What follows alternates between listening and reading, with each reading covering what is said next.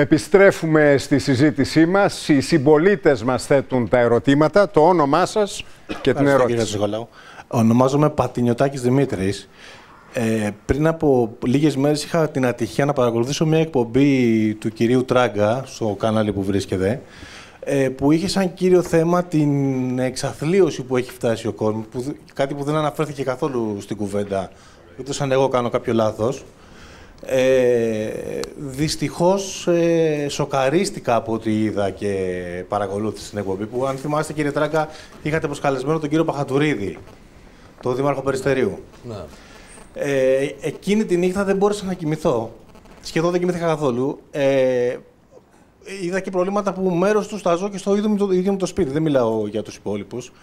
Ε, θέλω να πω ότι λυπάμαι και αποφαίνομαι προς όλους τους πολιτικούς που κανείς δεν ανέφερε μία λύση για αυτή την κατάσταση και πώς μπορεί να αποτύχει σε αυτό, αλλά κανείς δεν μας έχει δώσει ένα τρόπο που θα φτάσουμε εκεί. Μπορεί να μην πάμε ποτέ ουσιαστικά. Και έτσι να, και να τελειώσω λίγο, μια και δεν έχω πω συχνά την ευκαιρία. Ε, θέλω να πω ότι οι πολιτικοί πολλές φορές μας προκαλούν. απευθύνομαι και στον αρχηγό σας, ε, κύριε Κουγουλόπουλε, και γενικότερα και στον κύριο Σαμαρά, ο οποίος εξήγηλε Wi-Fi. Κάπως πρέπει να την ενημερώσει ότι το Wi-Fi ε, δεν είναι και ότι πιο καλό για την υγεία, έτσι. Το ξέρετε αυτό. Ε, ή ο κύριος Βενιζέλος, δεν ξέρω, αυτό το αυτοκίνητο που κυκλοφορεί στην Ελλάδα της κρίσης είναι σίγουρα πρόκληση. Θα ήθελα την απάντηση στο ερώτημα αυτό που σας λέω ότι θεωρώ ότι μας προκαλείτε σε αυτά που βιώνουμε και συνδέστε το και με την εκπομπή του κύριου Τράκα. Μπορεί να με το είδατε, οι σκηνές ήταν πραγματικά σοκαριστικές. Κύριε Τράκα, αν κάνω λάθος, να με διαψεύσετε. Κοίταξε, εγώ έχω μια άποψη την οποία τη λέω και από τον Real FM και τη λέω και τα τελευταία τρία χρόνια από τότε που ξεκίνησε αυτή η ιστορία. Ε, πιστεύω ότι η ανθρωπιστική κρίση που σοβεί θα βαθύνει θα πάει και δύο-τρία χρόνια πιο κάτω, ακόμα πιο βαθιά. Δηλαδή θα υπάρχει μεγαλύτερος αριθμός ανέργων. Και επειδή τραβάει από μέσα λεφτά το κράτος από τους πολίτες με την υπερφορολόγηση που επιβάλλουν οι Γερμανοί, μειώνει την αγοραστική δύναμη, πράγμα που σημαίνει μαθηματικά κλείσιμο και άλλων επιχειρήσεων μεσαίων και μικρών και σημαίνει μαθηματικά περισσότερους ανέργους. Ένας φίλος στο διάλειμμα μου είπε ότι βαρά στο Σαμάρι, δηλαδή τους Γερμανούς, και δεν βαρά στους πολιτικούς. Η Ελλάδα υποθηκεύτηκε προσχεδιασμένα. Η Ελλάς δανειζόταν και υπερκοστολογούσε τις προμήθειές της από τους πολιτικούς των δύο κομμάτων. Τα δύο κόμματα τα οποία εναλλάσσονταν στην εξουσία υποθήκευσαν τη χώρα. Άκουσα και τον κύριο Κουκουλόπουλο που είπε για τον Καραμαλή. Όφιλε να προειδοποιήσει. Τον είχε υποθηκεύσει ο Σιμίτς, αλλά όφιλε να ανέβει σε ένα πόντιουμ και από την αρχή που είπε για την ήπια προσαρμογή έπρεπε να πει στον κόσμο κύριε έχουμε πάρει 240 τόσα από το συμμεταριό και κάναμε και τους Ολυμπιακούς τους ευχαριστηθήκαμε πάρα πολύ. Έτσι, κυρία Γιάννα Αγγελοπούλου είπε εγώ τα δύο τα τακτοποίησα, τα άλλα έξι δεν ξέρω τι τα έκανα τα απευθείας Γιατί δεν τα είπε ο Καραμαλής κύριε Λοιπόν, ο Καραμαλής ήταν πολύ πιο τίμιος κατά τη γνώμη μου από άλλους. Όμως, προφανώς πιεζόμενος και από άλλα πράγματα, ξένους παράγοντες κτλ. Αυτά δεν είναι της παρούσης εκπομπής. Ε, δεν μίλησε όσο έπρεπε. Έφτασε στο σημείο να μιλήσει μόνο στον Χατζη Νικολάου λέγοντας ότι είμαι κουρασμένος και το είπε προσχεδιασμένα και αυτό στον κύριο Χατζη Νικολάου ο οποίος είναι ασφαλώς έγκριτος δημοσιογράφος και το μετέφερε άρα πολλαπλασίασε τη δύναμη του είμαι κουρασμένος και ήρθαν οι ευρωεκλογές για να χάσει από τον Γιώργο Παπανδρέου. Επομένως, λοιπόν, επειδή τα λέμε τώρα, η Ελλάδα υποθηκεύτηκε, έγινε νομός, περιφέρεια και επειδή μου το λες, η φτώχεια αυτή, την οποία αξιοποιούν και οι πολιτικοί στην αντιπολίτευση, θα βαθύνει. Η φτώχεια ναι, κύριε Αρβανίτη, Νικολάου, συγγνώμη κύριε Τράγκα. Ναι. Στον κύριο Πατινιωτάκη θέλω να πω κάτι συμπληρωματικά και για τους τηλεθεατές και για τους... Ε, επειδή συμμετέχω, το ξέρουν κάποιοι στο ΚΕΘΕΑ, πρέπει να σας πω ότι η κρίση έχει γονατίσει την ελληνική οικογένεια και έχουμε ένα πολύ σοβαρό θέμα στις εξαρτήσεις όχι μόνο των παιδιών που παλεύαμε πριν από πέντε χρόνια, αλλά στους γονείς τους. Καλό μέσα από αυτό το βήμα λοιπόν που μου δίνει σήμερα ο κ. Χατζηνικολάου, όσοι έχουν θέμα εξάρτησης σήμερα, να επικοινωνήσουμε το δημόσιο φορέα του ΚΕΘΕΑ που είναι το 1145. Χάνουμε τα παιδιά. Χθες στην οδό Σαρή έξω από τον 105 και 5 στο κόκκινο, άλλο ένα παιδί. Το μάζεψε. Και πια δεν ενοχλεί κανέναν. Φεύγουν τα παιδιά. Και αυτό όσο. Κλείνουν και τα συμβουλευτικά κέντρα. Θε... Μόνο αυτό. Μόνο πολύ αυτό. σημαντικό αυτό. Βεβαίως. Εγώ θέλω να πω μόνο, αυτά. μόνο τούτο. Νομαρχία, από την πρώτη μέρα που μπήκε η χώρα στην οικονομική κρίση, ο οργανισμός, δημόσιος οργανισμός είναι το ΚΕΘΕΑ, είχε εντοπίσει η ομάδα έρευνας ότι θα έχουμε σοβαρά προβλήματα στη χρήση και στις εξαρτήσεις σε όλες τις βαθμίδες, τις ηλικιακές και ιδιαίτερα στα μεσαία και μικρομεσαία στρώματα της κοινωνίας. Είναι κάτι που το ζούμε σήμερα, κύριε Πατινιατάκη. Λοιπόν, το όνομά σας και την ερώτησή σας. Ε, λέγομαι Εύη Χριστοφίλου, είμαι δικηγόρος. Θα απευθυνθώ κυρίως στους εκπροσώπους ε, του Πασόκ και της Νέας Δημοκρατίας. Ε, βλέπω δυστυχώς, και νομίζω όλοι το βλέπουμε, ότι αυτοί που κυβερνούν είναι περισσότερο μάνατζερ παρά πολιτικοί. Παρά πολιτικοί που ασχολούνται με οικονομία και κοινωνία, έχουμε τους μάνατζερ που ασχολούνται περισσότερο με οικονομία. Θεωρείτε λοιπόν, αφού φτάσαμε στο σημείο να διοικούμαστε από μάνατζερ, ότι είστε καλοί μάνατζερ. Και θα ήθελα να απαντήσετε σε αυτό ε, επί τη βάση των αποκρατικοποιήσεων κυρίως. Α πούμε, για παράδειγμα, είναι καλός ο μάνατζερ ο οποίος μια κερδοφόρα επιχείρηση την ξεπουλάει; Ο ΠΑΠ, για παράδειγμα. Είναι καλός ο μάνατζερ που μια επιχείρηση που έχει μεγάλη προοπτική κέρδους, άμα διαχειριστεί σωστά, η ΔΕΗ κτλ. Και αυτή πάει για, για ξεπούλημα είναι καλός αυτός ο μάνατζερ, μήπως θα έπρεπε, αφού λειτουργούμε ως εταιρεία πλέον και όχι ως χώρα, να, να λειτουργήσουμε ως μια καλή εταιρεία και όχι ως μια κακή εταιρεία; Αυτή είναι η ερώτηση. Καλή ερώτηση. Παρακαλώ. το θέμα των οργανισμών ήταν ένα μεγάλο βαρύδι στην οικονομία της χώρας. Υπήρχαν κρατικά μονοπόλια τα οποία ήταν βαρύδι στη ο χώρα. Ο ΟΠΑΠ ήταν κερδοφόρος, κύριε Μιχελάκη. Πάμε στο θέμα του ΟΠΑΠ κύριε Παπά, όπου τα κέρδη του χρόνο με το χρόνο μειωνόντουσαν και επειδή ο ανταγωνισμός πια ανοίγει, οι προοπτικές του δεν ήταν. Η εταιρεία πουλήθηκε με το κέρδος το μεγαλύτερο δυνατό, με βάση τις τιμές της αγοράς. Από εκεί και πέρα, αυτό που έχει αξία, γιατί βάζει μια ουσία στο ερώτημά της, ξαναλέω, μπορεί κάποιος να αμφισβητήσει και να πει ότι αυτό που λέω εγώ δεν είναι σωστό αυτό που λέει η, η κυρία είναι το σωστό. Και έρχομαι τώρα εγώ σε εσάς. Εμείς κάναμε αυτό, πιστεύουμε ότι είναι κερδοφόρο για το κράτος συμφέρον. Εσείς πώς αυτόν τον οργανισμό θα τον ξαναπάρετε πίσω, πού θα βρείτε τα λεπτά και πώς με αυτόν τον τρόπο θα διώξετε τους επενδυτές, διότι όταν βλέπουμε την αξιωματική αντιπολίτευση, η οποία έρχεται, υποτίθεται με βάση τα λεγόμενά σας, έτσι, να πάρει την εξουσία, τι θα κάνει. Και το λέω αυτό, διότι κακά τα ψέματα.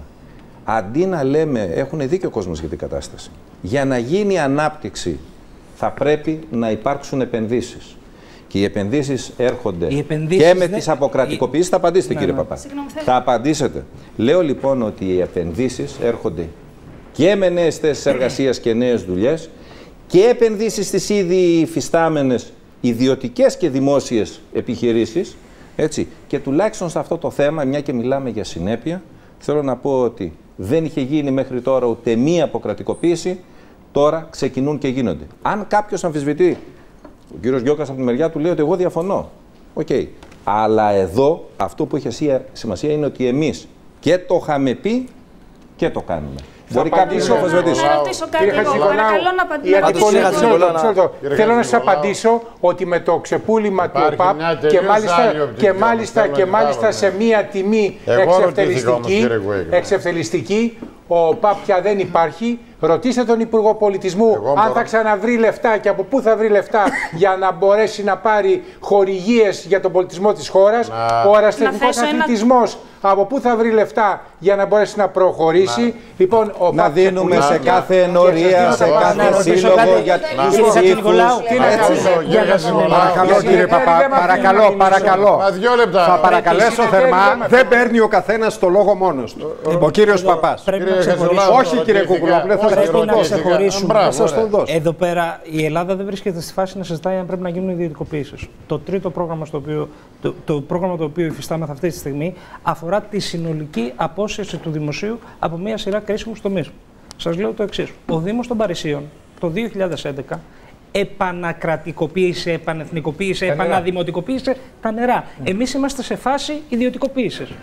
Ποια λογική επιβάλλει να έχουμε ιδιωτική την εταιρεία ίδρυυση. Η εμπειρία των Παρισίων, το οποίο προφανώς Παρίσι δεν θα το βγάλουν από το ευρώ, δεν νομίζω να ισχυριστεί κανείς εδώ ότι είναι αυτό αιτία πολέμου και οι εταίροι μας θα θυμώσουν τόσο ώστε να βγάλουν το Παρίσι από το ευρώ, επειδή η εταιρεία ίδρυυση είναι δημόσια.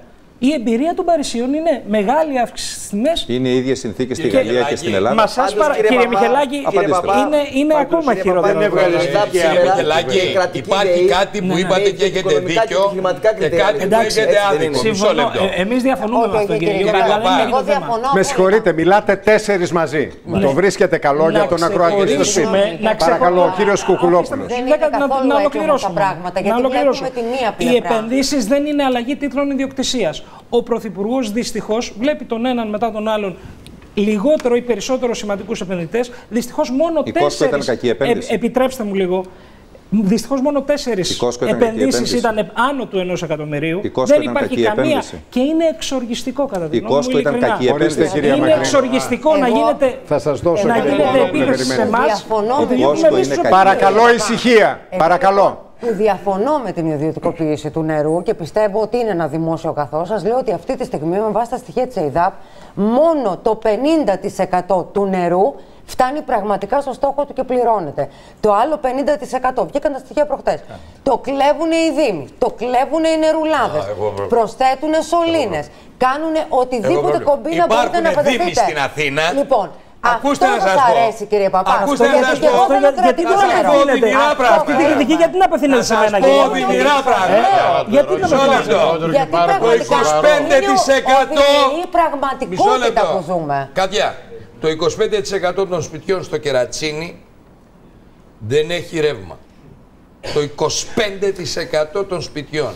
Αυτό είναι άλλο πράγμα που λέτε κύριε Τράγκα. Βάζουν μπαλαντέζες και παίρνουν λαθρέο ρεύμα από όπου μπορούν. Άρα οι ΔΕΗ χάνει ένα ρεύμα για να μην πεθάνουν. Αυτό είναι να άλλο μην πράγμα, πεθάνουν οι Αγιάννηδες στο κερατσίνι. Είναι άλλο πράγμα. Μισό λεπτό. Από το να προσάρει ο Δήμος Μεγάλων 45 εκατομμύρια στην ΕΙΔΑΠ. Είναι άλλο πράγμα αυτό. Ένα λεπτό εγώ. Το νερό δηλαδή το κλέβουν επειδή δεν ψάχνουν και δεν έχουν να Αγαπητέ Υπουργέ, υπάρχουν αποκρατικοποιήσεις Είναι η κακοδιαχείριση τα λαμόγια υπάρχουν αποκρατικοποιήσεις. Για τα λαμόγια λοιπόν. υπάρχουν αποκρατικοποιήσεις σωστές. Πες μου όμως, γιατί δώσατε 28 κτίρια ακίνητα του ελληνικού δημοσίου για 226 εκατομμύρια, τα οποία σε 7 μέρες περιήλθαν εις το φυλάκιο των Γερμανών; Και δεχτήκατε την ίδια ώρα να δίνετε 30 εκατομμύρια το χρόνο επί, 20 χρόνια. Δηλαδή 600 εκατομμύρια φορτώσατε. Και είστε το περισσότερο διαμαρτυρόμενο. Όχι έτσι, παρακαλώ. Μια φράση μόνο. Ναι. Είδατε πόσο εύκολα έφυγε η συζήτηση από τον ΟΠΑΠ. Ναι. Και πήγε στα νερά, πήγε στα ακίνητα, ενδεχομένως θα πάει στη ΔΕΗ. Θέματα, μισό λεπτό, που έχουν πάρα πολύ μεγάλη σημασία να τα σχολιάσουμε. Ξέρετε γιατί, κύριε Χατζη Νικολάου, διότι ο ΟΠΑΠ δεν αντέχει στην κρατική. Δεν μπορεί να υποστηριχθεί κάποιος ότι άντεχε στην κρατική του διαχείριση. Δεν είναι το ίδιο ο ΟΠΑΠ με τα νερά. Πολύ σύντομα, παρακαλώ. Και τα ακίνητα, παρακαλώ. Τα ακίνητα, 600 εκατομμύρια. Τώρα θα πάμε. Μην ανοίγετε όλα τα θέματα μαζί, παρακαλώ. Ελάτε, κύριε Σε δύο χρόνια ο ΠΑΠ δεν θα υπήρχε. Παρακαλώ, κύριε. Παρακαλώ. Ελάτε. Δύο απλές αλήθειες θέλω να πω στην. Πολύ σύντομα, σας παρακαλώ. Η πρώτη είναι ότι ε, όλε οι αποκρατικοποίησει δεν είναι μεταξύ τους ίδιες. Είναι άλλο τζόγος, άλλο η ενέργεια, έτσι, άλλο το νερό. Έτσι, έτσι, έτσι. Ένα, ένα. Δεύτερο. Δεύτερο και πιο, πιο σημαντικό, γιατί κανένας δεν θέλει να το πει. Εγώ πελιά με αυτό το πρόγραμμα των αποκρατικοποιήσεων είναι γιατί η χώρα είναι σε ανάγκη. Και είναι συμφωνία ένα μέρος από τον πλούτο να πουλήσει και έχει μεγάλη σημασία να δούμε τι θα πουλήσουμε και τι θα κρατήσουμε. Γιατί, προσέξτε, εγώ ισχυρίζομαι, κύριε Χατζηνικολάου, ότι στο πρόβλημα της χώρας δεν θέλει να μιλήσει κανένας εκτός από τον Πασόκ. Και η Νέα Δημοκρατία μπήκε στο πρόγραμμα από πίσω. Προσέξτε να σας πω τώρα. Μας δανείζουν. Άσε με κύριε Μεχελάκη, παρακαλώ. Μας δανείζαν. Μα δανείζουν ναι. τα πολλά λεφτά που μας δανείζουν. Προσέξτε. το πρόβλημα της χώρας που δεν θέλει κανένας να πει στους πολίτες, δεν μας δάνειζε κανείς το 9. Αυτό από εκεί ξεκινάει το πρόβλημα. Το Φλεβάρι Αρχίζει... του 12 μπορούσαμε να πάρουμε, του, του 10 λοιπόν, μπορούσαμε ε, να πάρουμε 25 ε, δις τα, τα, και λεφτά, πήραμε τα μισά. Ε, τα λεφτά. Για, ε, επιτέλους. Τα, ε, Φλεβάρι του 10. 25 και πήραμε τα μισά. Ο Παπαθανασίου. Κύριε Χατζηγολάου, θα είχε η αλήθεια λοιπόν, από εκεί ξεκινάει το θέμα της χώρας και η κρίση.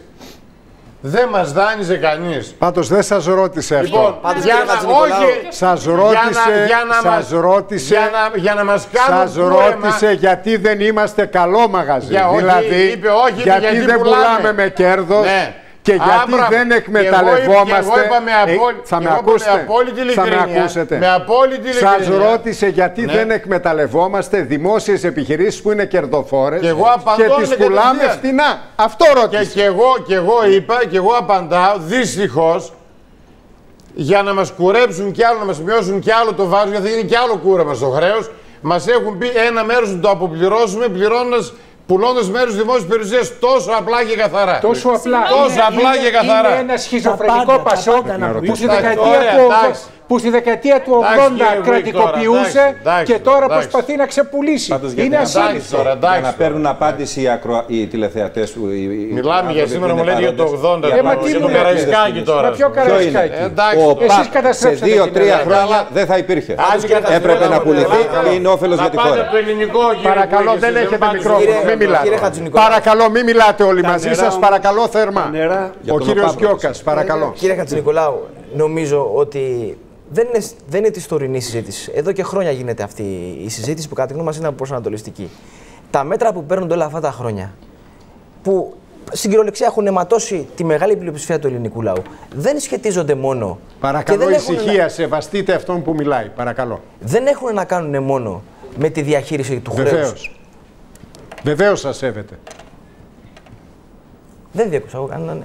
Λοιπόν, δεν έχουν να κάνουν μόνο με τη διαχείριση του χρέους και του, και του ελλείμματος μια σειρά μέτρα σαν και αυτά που παίρνονται στην Ελλάδα παίρνονται και σε άλλες χώρες της Ευρωπαϊκής Ένωσης, ανεξάρτητα από το ύψος του χρέους και των ελλημάτων. Να σας πω δύο, παράδειγμα, δύο παραδείγματα πρόσφατα. Ο κύριος πριν που μίλησε πρώτος ανέφερε ότι είναι έμπορος. Πριν δύο εβδομάδες ξεκίνησε η διαδικασία για την κατάργηση της Κυριακάτικης Αργίας. Που κατά τη γνώμη μας είναι ένας προπομπός. Ξεκίνησε με τις 7-8 Κυριακές, θα επεκταθεί ακόμη περισσότερο. Το μέτρο αυτό δεν σχετίζεται άμεσα με, την, ε, με, με τα χρέη και τα ελλείμματα της χώρας. Είναι ένα μέτρο όμως το οποίο υποστηρίζεται φανατικά από τους μεγαλεμπόρους, τα μεγαλοκαταστήματα, τις αλυσίδες και ούτω καθεξής. Για ποιο λόγο γίνεται αυτό; Γιατί τους δίνει τη δυνατότητα να βγάλουν από τη μέση ένα μεγάλο μέρος μικρεμπόρων που δεν θα μπορέσουν αντικειμενικά να ανταπεξέλθουν σε αυτόν τον ανταγωνισμό και να συγκεντρώσουν την αγορά σε λίγα χέρια. Η φίλη που μίλησε πριν λίγο είναι δικηγόρος. Πριν δύο εβδομάδες, πριν ένα μήνα περίπου μάλλον, στη Βουλή ψηφίστηκε ο νέος κώδικας δικηγόρων.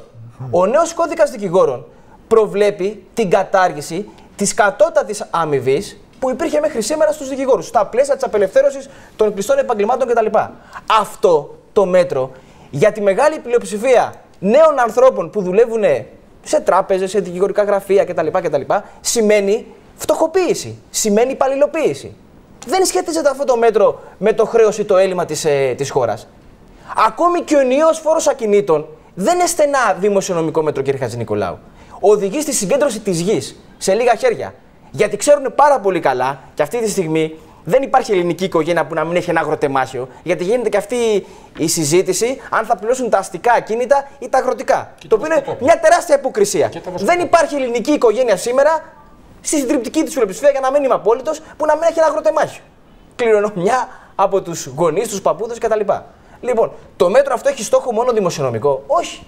Έχει στόχο να συγκεντρώσει τη γη σε λίγα χέρια. Σε αυτή την πραγματικότητα θα πατήσουν οι επενδύσεις. Πάνω, πάνω σε μέτρα φτωχοποίησης και εξαθλίωσης του ελληνικού λαού. Γι' αυτό και η θέση του ΚΚΕ. Και αν θέλετε και η θέση του συνολικότερη, ότι δεν μπορείς σήμερα, δεν μπορείς σήμερα να λες ότι είμαι εναντίον της Τρόικα, αλλά είμαι υπέρ της Ευρωπαϊκής Ένωσης. Είμαι εναντίον του μνημονίου, αλλά είμαι υπέρ της Δανειακής Σύμβασης. Και ένα τελευταίο, αν μου επιτρέπετε. Ξέρετε, η ιστορία με το μνημόνιο, ε, ιδιαίτερα σήμερα, έχει και μια, έχει και μια δόση υποκρισία από την εξής κοπιά. Να έλεγες ότι θα καταργήσω το μνημόνιο πριν δύο-τρία χρόνια, όταν τα μέτρα του μνημονίου ήταν μπροστά, ήταν να υλοποιηθούν, είχε μια σημασία, μια αξία κτλ. Σήμερα, κύριε Χατζη Νικολάου, τα περισσότερα μέτρα που προβλέπει το μνημόνιο υλοποιηθήκαν. Άρα το θέμα δεν είναι να πεις γενικά τι θα κάνεις με το μνημόνιο. Τι θα γίνει με τα μέτρα που έχουν υλοποιηθεί. Με τις δανειακέ συμβάσεις υπάρχει θέμα όμως. Εμείς λέμε καταγγελία των δανειακών συμβάσεων. λέμε Πάμε σε μια μικρή διακοπή. Όταν επιστρέψουμε δύο-τρία τελευταία ερωτήματα για να κλείσουμε. Σε δύο-τρία λεπτά και πάλι μαζί.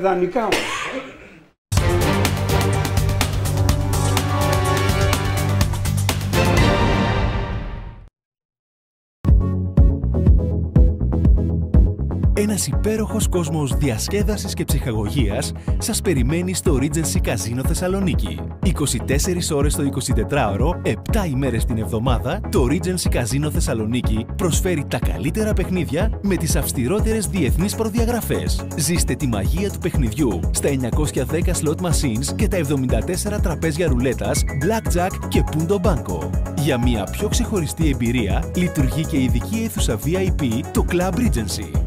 Παρακολουθήστε τα πιο εντυπωσιακά θεάματα στο Θέατρο Βεργίνα. Απολαύστε απεριόριστο γεύμα στο εστιατόριο Λατεράς και μια μοναδική γκουρμέ εμπειρία στο πολυβραβευμένο με χρυσούς κούφους εστιατόριο Alfredo's Grand Dining Restaurant. Regency Casino Θεσσαλονίκη. Ο απόλυτος προορισμός διασκέδασης και ψυχαγωγίας. Από τότε που χώреσα με την Ελενίτσα και βγήκα στην τηλεόραση, ζω καθημερινά την αγάπη του κόσμου. Τις προάλλες με σταματάει ένας τύπος και μου λέει: Πανάση, είμαι χάλια. Πονάει ο κόσμος. Η γυναίκα μου λείπει συνέχεια από το σπίτι. Λες να. Ω, τηλεοράσει, ίντερνετ, τέτοια έχεις. Ε, μα βάλε να βλέπει εκεί πέρα η γυναίκα τις ματσάρες της, να έχει τα ίντερνετ της, να παίρνει τη μανούλα της. Τώρα, πριν τα βάλει ο κουμπάρος. Τώρα όλοι θα βάλουν ο TW Play και ο TTV. Απόκτησε και εσύ ο TW Play και ο TTV μόνο από 38 και 80 το μήνα. Γιατί η επιθυμία σου για επικοινωνία και διασκέδαση στο σπίτι είναι για μας έμπνευση. Ο ΤΕ. Μαζί είμαστε ένα την Κυριακή με τη Real News. Η μικρασιατική εκστρατεία από το έπος στην τραγωδία. Η απάντηση του Σαράντου Καργάκου στην περισυνοστισμού θεωρία. Μαζί. Το νέο CD του Βασίλη Παπακονσταντίνου, Δραπέτης. Στην τρύπα μια κιθάρα. Ακόμη, Real Me, ο κόσμος της γυναίκας στα χέρια σας. Μόδα ομορφιά συνεντεύξεις. Και πέντε τυχεροί αναγνώστες κερδίζουν από 10.000 ευρώ μετρητά. Real News, η αληθινή εφημερίδα. Έλα, Βαγγελάκη. Και τι κάνει. Πούσκασε μετάφραση. Στα ρώσικα και χρειάζομαι βοήθεια. Μια μεταφρασούλα είναι. Вам шлем оливки тромба, да? Да. Цель в экспорт из Греции в Москву. Εντάξει, ευχαριστώ, Βαγγελή. Άντε, γεια. Ψυχούλα, Βαγγελάκης. Τώρα δεν θα σταματάς να μιλάς με τους συνεργάτες σου. Γιατί με τα νέα προγράμματα OT Business Double Play έχεις απεριόριστες κλήσεις προς ενδοητερικά κινητά και σταθερά. Έως 500 λεπτά προς εθνικά κινητά και business internet με ταχύτητες έως 50 Mbps. Μόνο από 34 ευρώ το μήνα. Γιατί η επιθυμία σου για οικονομία στην επιχείρησή σου είναι για μας έπνευση. ΟΤΕ. Μαζί είμαστε ένα. Νητσιάκος. 40 χρόνια στα Γιάννενα με σεβασμό στην παράδοση. Υγιεινά κοτόπουλα με μεράκι στην παραγωγή. Σήμερα η εταιρεία Νητσιάκος φέρει στο πιάτο σας ελληνική γαλοπούλα και κουνέλι. Η ποιότητα είναι υποχρέωσή μας. Νητσιάκος. Ό,τι καλύτερο.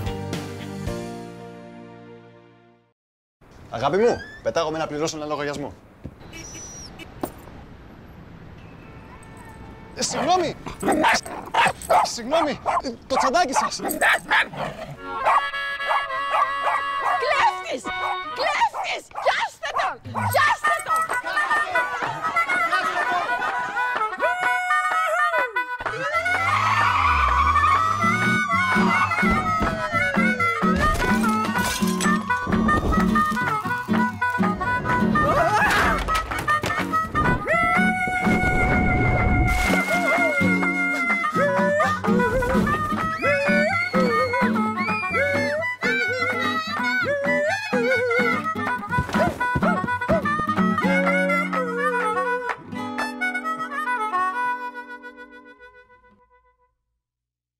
Άμα σου πω ότι πω να πληρώσω ένα λογαριασμό, θα με πιστέψεις; Η ζωή μπορεί να γίνει πολύπλοκη. Κάντε λίγο πιο εύκολη με Wimbank. Τώρα με Wimbank, οι πληρωμές λογαριασμών και όλες οι τραπεζικές σου συναλλαγές γίνονται εύκολα και γρήγορα από τον υπολογιστή, το κινητό σου ή από τα μηχανήματα EasyPay. Wimbank. Μια κίνηση μπροστά.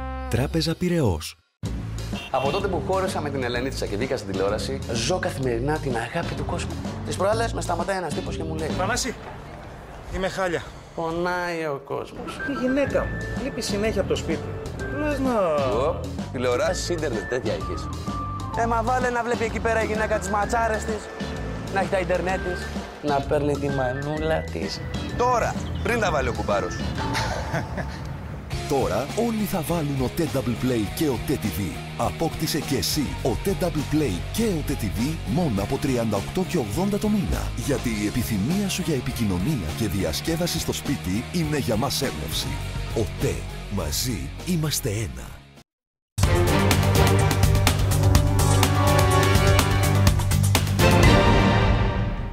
Μπαίνουμε στα τελευταία λεπτά της συζήτησής μας για δύο-τρία ερωτήματα ακόμη. Ελάτε. συγγνώμη ένα λεπτό. Παρακαλώ. Για να κλείσουμε την ερώτηση Παρακαλώ. της κυρίας. Για τον ΟΠΑΠ. Το 33% που πουλήθηκε το ποσοστό του ΟΠΑΠ είναι 16 φορές τα κέρδη του οργανισμού. Και όσον αφορά για την, που είπε ο κύριος Γκιώκα για την κατώτερη αμοιβή, με τον τελευταίο κώδικα που ψηφίστηκε, κατοχυρώθηκε η κατώτερη αμοιβή. Μέχρι τώρα δεν υπήρχε. Δεν Μάλιστα. Ελάτε, παρακαλώ. Καλησπέρα, ονομάζομαι Διονύσης Καραγεωργίου και είμαι φοιτητής. Θα ήθελα Τι σπουδάζετε; Να... Ακαδημία Ναυτικού. Μάλιστα. Ε, θα ήθελα να κάνω μια ερώτηση στον κύριο τους ΣΥΡΙΖΑ και συγκεκριμένα στον κύριο Παπάπα, που έχει πιο, θεσμικό, πιο θεσμική θέση. Και θα ήθελα να του πω τι νομίζει ότι βλέπουν οι ξένοι. Εντάξει, και εδώ πέρα γελάνε, το έχουμε καταλάβει. Αλλά τι βλέπουν οι ξένοι όταν η αξιωματική αντιπολίτευση μιας χώρας που λέει και λέω ότι λέει ότι θέλει να γίνει κυβέρνηση γιατί έκανε τώρα πρόταση μορφής και δεν έκανε όταν η κυβέρνηση έπεφτε. Γιατί εγώ διαφωνώ με αυτό που είπατε, ότι τότε θα υπήρχε σύμπτη. Ε, θα τα βρίσκαν τέλος πάντων. Και θέλω να πω, τι βλέπουν οι ξένοι όταν η, η αξιωματική αντιπολίτευση μιας χώρας ε, συμφωνεί με καταλήψεις κτηρίων και όχι μόνο για την ΕΡΤ, για τη Βίλα Αμαλία, για τα, για τα κλειστά πανεπιστήμια και χίλια άλλα τόσα. Και αφού δεν θέλετε να κυβερνήσετε, γιατί εγώ αυτό καταλαβαίνω, γιατί δεν πάτε. Ένα καλό δεν κάνει αυτή η κυβέρνηση, γιατί δεν πήγατε να πείτε ναι για τη μείωση ΦΠΑ για τέσσερις μήνες, για τέσσερις μήνες. Για δύο μέρες, για δύο μέρες, ναι, συμφωνούμε. Γιατί για τη μείωση του ΕΤΙΔΕ. Οι 15 είπαν. Δεν θέλετε ούτε 15. Εσείς δεν θέλετε καθόλου. Και εγώ δεν θέλω καθόλου. Εσεί δεν θέλετε ούτε 15. Σε κάτι δεν έχετε να συμφωνήσετε, να βοηθήσετε αυτό να κυβερνήσετε. Το, το ΕΤΙΔΕ δεν καταργείται, μονιμοποιείται και μπαίνει μαζί με το φόρο ακινήτων. Ναι, μειώθηκε κατά 15%. Αυτό Εντάξει, λέω. σύμφωνοι, αλλά γίνεται ενιαίο και με το φόρο ακινήτων νομίζω ότι θα έχουμε πάρα πολύ δυσάρεστες εξελίξεις. Έτσι δεν είναι. Ε, τι λένε οι ξένοι; Θα σας πω τι λένε οι ξένοι, γιατί. Ενώ ε, γελάνε, κλαίνουν οι ξένοι, με αυτό θέλω να πω. Οι ξένοι σας πληροφορώ ότι έχουν πιστεί, κατά το μάλλον ήταν ότι το πρόγραμμα στην Ελλάδα απέτυχε. Το και ναι, το έχουν παραδεχτεί όλοι και είναι ανεξήγητη η αιμονή της ελληνικής κυβέρνησης στο να μην ανοίγει αυτά τα ζητήματα και να παρακολουθεί ο σουραγός της κυρίας Μέρκελ τις εξελίξεις. Θέλω να πω το εξής ότι οι δυνατότητες διαπραγμάτευσης αυτή τη στιγμή που μιλάμε είναι στο διεθνές επίπεδο οι καλύτερες από ποτέ. Γιατί, Γιατί και ένας εκ των δανειστών έχει παραδεχθεί το λάθος και το κλίμα στην Ευρώπη για τις εφαρμοζόμενες πολιτικές έχει βελτιωθεί πολύ και νομίζω ότι πραγματικά εάν το ίδιο το Ευρωκοινοβούλιο ξεκινάει και λέει ότι πρέπει να αναζητηθούν ευθύνες για αυτά που έγιναν στην Ελλάδα, αν μη τι άλλο θα έπρεπε αυτό να αξιοποιηθεί. Τώρα για το αν θέλει ο ΣΥΡΙΖΑ να κυβερνήσει, νομίζω ότι θα μου επιτρέψετε αυτό να το αμφισβητήσω, διότι την ίδια ώρα ακούμε ε, κριτικές που λένε ότι κάνουμε γιουρούσια και ντου. Πιστεύω ότι θα πέσει η κυβέρνηση. Δηλαδή. Μιλάτε χωρίς μικρόφωνο, δεν ακούγεστε. Όχι, δεν το πιστεύω. Και θα ρωτήσει τώρα κάποιος άλλος. Ελάτε, κυρία. Ε, το όνομά σας. Είμαι φοιτήτρια. Ε, Γοργορίνη λέγω με Β. Στο Πάντιο Πανεπιστήμιο. Το Πάντιο δεν είναι κλειστό πανεπιστήμιο αυτή τη στιγμή, ωστόσο το Καποδιστριακό, ένα από τα μεγαλύτερα πανεπιστήμια στην Ελλάδα, είναι αυτή τη στιγμή κλειστό. Ε, Θέλω να σας ρωτήσω ποια είναι η άποψή σας για αυτό το θέμα. Δεν θέλω να μου πείτε φταίνει η απεργή. Θέλω να μου πείτε τι οδήγησε τους απεργούς να κάνουν αυτό που κάνουν. Πάντως θα πε... σας πει αυτό που θέλει εκείνος. Ναι, προφανώς θα ναι, πει Θέλω να πω, μην του γράφετε την απάντηση. Απλά δεν θέλω να. Αλλιώς να είναι η απάντησή ένα, τρεις επιλογές. Δεν θέλω η απάντησή σας να κινείται ότι φταίνει η απεργή που είναι αυτή τη στιγμή κλειστό. Τι οδήγησε τους απεργούς να είναι κλειστό; Οι κινήσεις της κυβέρνησης είναι, αλλά γιατί αυτές οι κινήσεις οδήγησαν σε μια απεργία που μπορεί να οδηγήσει, που αυτή τη στιγμή το πανεπιστήμιο, ένα από τα μεγαλύτερα πανεπιστήμια στην Ελλάδα, είναι κλειστό, που τα παιδιά θα χάσουν το εξάμεινό τους. Εγώ δεν είμαι στο Καποδιστριακό, είμαι στο Πάντιο, αλλά με αφορά αυτό το ζήτημα γιατί είναι ελληνικό πανεπιστήμιο και δίνει μια εικόνα για την Ελλάδα αυτή τη στιγμή. Είμαστε σε μια δημοκρατία και το πανεπιστήμιο φορέας που οι νέοι μέσα από αυτό θα εκφραστούν, είναι κλειστό. Μάλιστα. Κύριε Μιχελάκη. Κοιτάξτε, δυστυχώς η κρίση δεν είναι μόνο οικονομική. Αν κάποιος πιστεύει ότι φτάσαμε εδώ που φτάσαμε μόνο και μόνο γιατί κάποιοι δεν διαχειρίστηκαν καλά τα χρήματα, έτσι, τον δημόσιο κορβανά να το πω απλά, νομίζω ότι είναι μακριά ανοιχτωμένος. Η κρίση είναι στον ίδιο βαθμό και θεσμική. Και αν θέλετε, για να μπορέσουμε να φύγουμε από την κρίση, δεν είναι μόνο να περιορίσεις τις δαπάνες. Δεν είναι μόνο να δημιουργήσεις ένα περιβάλλον θετικό για να έρθουν επενδύσεις. Αν δεν αλλάξουν και θεσμικά πράγματα, και εκεί έχουμε πολλή δουλειά να κάνουμε. Και αναφέρομαι τώρα να έρθω στο συγκεκριμένο κομμάτι. Η τριτοβάθμια εκπαίδευση. Πιστεύετε ότι ήταν σε καλό επίπεδο; Όλοι δεν κουβεντιάζουμε και δεν λέμε πώς είναι η εικόνα του Πανεπιστημίου στην Ευρώπη και στην Αμερική και πώς είναι στην Ελλάδα. Πηγαίνετε σε ένα πανεπιστήμιο στην Ευρώπη και δέστε πώ είναι και ένα πανεπιστήμιο στην Ελλάδα. Και μάλιστα παρά την κακή εικόνα που υπήρχε, είχαμε τα εκπαιδευτικά μας ιδρύματα σε πολύ ψηλό βαθμό. Να σας πω κάτι άλλο. Το γεγονός ότι δεν υπάρχουν ιδιωτικά πανεπιστήμια. Και ιδιωτικά πανεπιστήμια για να μπορέσουμε να προσελκύσουμε ακόμα και φοιτητές ξένους, να το κάνουμε δηλαδή ως επένδυση και να υπάρξει και ανταγωνισμός ανάμεσα στο ιδιωτικό και στο δημόσιο. Στο εξωτερικό καλά πανεπιστήμια είναι δημόσια. Υπάρχουν όμως και καλά ιδιωτικά, αλλά υπάρχει ανταγωνισμός. Δεν υπάρχει μονοπόλιο. Αν λοιπόν και σας μίλησα έτσι, δεν βρήκα να σας πω, φταίνει οι απεργοί που έχουν μπει μέσα στο πανεπιστήμιο και δεν σας αφήνουν. Να δούμε λίγο την ουσία. Αν δεν αλλάξουν οι δομές, αν δεν επιτρέψουμε ιδιωτικά πανεπιστήμια, αν δεν αφήσουμε πραγματικά τα πανεπιστήμια να είναι χώρος δουλειάς και πνευματικής εργασίας και όχι χώρος διαπάλης των κομμάτων ή προσωπικών στρατηγικών, γιατί έχουμε και τέτοια, με τους φοιτητές, αν θέλετε, τους καθηγητές, συγγνώμη, να προσπαθούν να προσετεριστούν κομμάτι των φοιτητών για να γίνονται αυτά που γίνονται. Δηλαδή, και να πω και κάτι άλλο. Δηλαδή, Επειδή είναι... ακούμε να ολοκληρώσω και θα σας πω. Θα ολοκληρώσω και θα σας πω. Μια Η παιδεία δηλαδή να μην ακόμα. είναι δημόσια. Όχι, Αυτό όχι, μου λέτε αυτή τη στιγμή. Όχι, να τελειώσω και θα σας πω γιατί δεν σας άκουσα. Λέω το εξής. Και εδώ, δυστυχώς, δεν είναι ένας χώρος που το κράτος μπήκε μέσα τα κόμματα και το διαλύσαν, να δούμε αυτή τη λογική. Ήταν ένας χώρος που ήταν έξω από την εποπτεία του κράτους. Οι καθηγητές ψηφιζόντουσαν από τους φοιτητές, μέσα υπήρχε το αυτοδιοίκητο, υπήρχε το άσυλο που είχε καταντήσει άσυλο ανομίας, δεν υπήρχε πουθενά το κράτος να μπεις. Ξέρετε που ήταν η ευθύνη του κράτους; Ότι άφησε να εξελιχθεί αυτή η αρνητική κατάσταση και να φτάσουμε σε αυτό το κακοφόρμισμα. Εγώ δεν ανήκω σε κάποια παράταξη. Όχι, μα θέλω, σας απάντησα, να το τονίσω για να... Δεν σας απάντησα ως κομματικός αυτή τη στιγμή. Δηλαδή, δηλαδή μου λέτε ότι η παιδεία να μην υπάρχει το αυτοδιοίκητο στα πανεπιστήμια. Υπάρχει Γιώργο μου. Υπάρχει όμως δηλαδή. αυτή η εικόνα. Μην τρελαθούμε δηλαδή. Η Βρετανική δημόσια. Γιώργο μου. Τα Βρετανικά δημόσια πανεπιστήμια δεν έχουν αυτοδιοίκητο. Απαντώ. Υπάρχει όμως. Σιγά σιγά θα φεύγει το ήτο να έρχεται εδώ πέρα λοιπόν, δηλαδή. Καταλάβες. Υπάρχει όμως Γιώργο μου αυτή η εικόνα που υπάρχει στα ξένα πανεπιστήμια. Πες ότι θέλουμε να κάνουμε οικονομίες και στα πανεπιστήμια, ότι πρέπει να κόψουμε πανεπιστήμια. Και ο Γερμανό θέλει λιγότερα έξοδα στην εκπαίδευση. Με ρώτησε η Δεσπινίδα ε. να προσπαθήσω να απαντήσω όχι από τη μεριά των απεργών. Να δούμε ναι. λίγο το θεσμικό κομμάτι που αν δεν ήταν έτσι, τα πράγματα θα ήταν διαφορετικά. Πάμε στην επόμενη ερώτηση. Δεν έπρεπε να γίνουν και περικοπές. Παρακαλώ, το όνομά σας και την ερώτησή σας. Παρακαλώ. Παπαϊωάννου Θάνια, ελεύθερος επαγγελματίας. Ήθελα να ρωτήσω εσάς, κύριε Κοπουλόπουλε, πώς αισθάνεστε που μετά από αυτή την αφέμαξη, την προηγούμενη αφέμαξη του ελληνικού λαού, προβήκατε στη φορολόγηση της ακίνητης περιουσίας, όχι με βάση την πρόσοδο, αλλά ως τιμωρία για την κατοχή, απλά.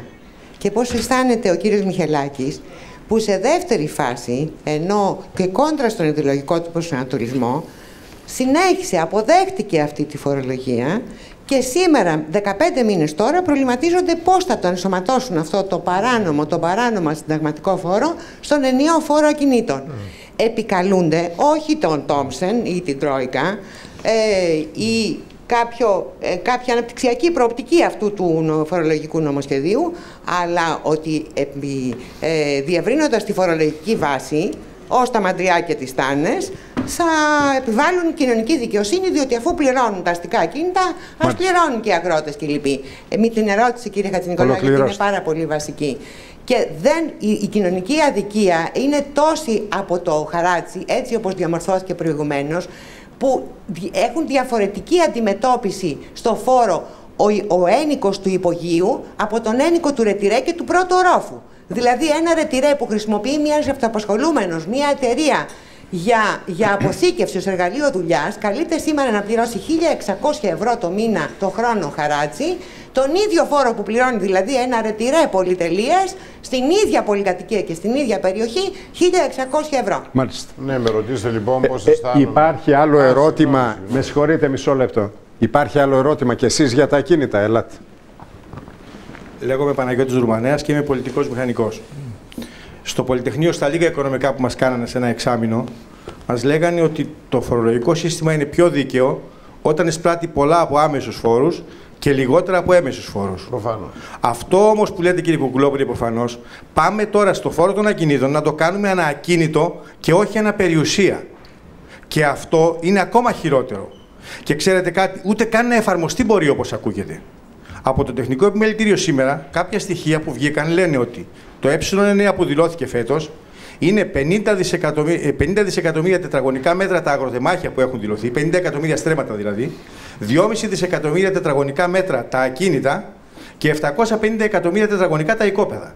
Πήραν λοιπόν αυτό και το κάνανε. μου είπε ένας φίλος μου το μεσημέρι που ήξερε ότι θα έρθω εδώ, ότι είναι μπακάλικος αυτός ο υπολογισμός. Δυστυχώς αδικούμε τους μπακάλιδε. Οι άνθρωποι ήταν νοικοκύριδες και αυτό που κάνανε το κάνανε σωστά. Αυτό ούτε μπακάλικο μπορεί να είναι. Πάνε να φορολογήσουν το υπόλοιπο κομμάτι ενός οικοπαίδου που δεν έχει οικοδομηθεί. Ξέρετε ότι αυτό που πάνε να κάνουν με το 50% του οικοπαίδου είναι παντελώς λάθος. Για να υπολογίσει κάποιος πόσο τετραγωνικά περισσεύουν σε ένα οικόπεδο, πρέπει να κάνει αυτό το σεντόνι το σχέδιο και κάποιος που του περισσεύουν 10 τετραγωνικά, και κάποιος που του περισσεύουν 50, και κάποιος που περισσεύουν 1000, και κάποιος που έχει ένα διατηρητήριο και δεν μπορεί να τα υλοποιήσει, θα πληρώσει τον ίδιο φόρο. Υπάρχουν άνθρωποι που έχουν αποποιηθεί το συντελεστή γιατί θέλει ένα οικόπεδο πιο μεγάλο και θέλουν να φτιάξουν ένα σπίτι και δεν θέλουν μεγαλύτερο. Έχουν στέγη, έχουν πανταχώθεν ελεύθερο σύστημα και αποποιούνται 500 τετραγωνικά μέτρα συντελεστή που δεν θα το υλοποιήσουν ποτέ. Θα πληρώσουν και αυτοί φόρο. Δεν είναι δυνατόν λοιπόν να ψηφίσετε αυτό το νόμο, ενώ ο κύριος Λικούδη μπορεί ίσως να με ε, να συνηγορήσει σε αυτό. Έχω την εντύπωση ότι από ό,τι έλεγε ο συνάδελφός μου, δεν θυμάμαι ποιος ήταν διαπραγματευτής ε, για το φόρο των ακινήτων, ε, ότι είχαν καταλήξει να μαζεύεται συνολικά η περιουσία και από εκεί να φορολογείται αφαιρώντας κάποιο αφορολόγητο.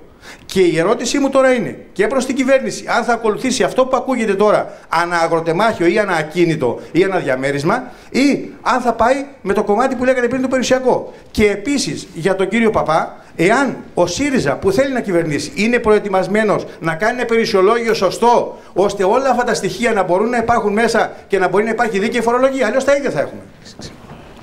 Ναι, να, να, πω, να πω με, με τίτλους.